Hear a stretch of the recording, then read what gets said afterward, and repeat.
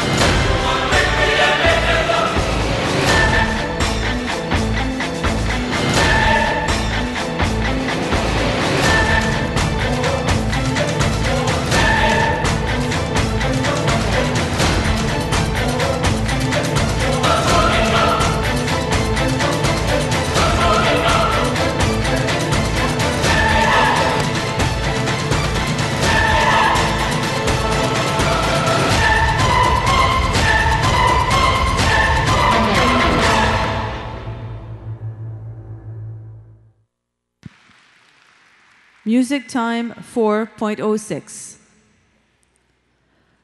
The final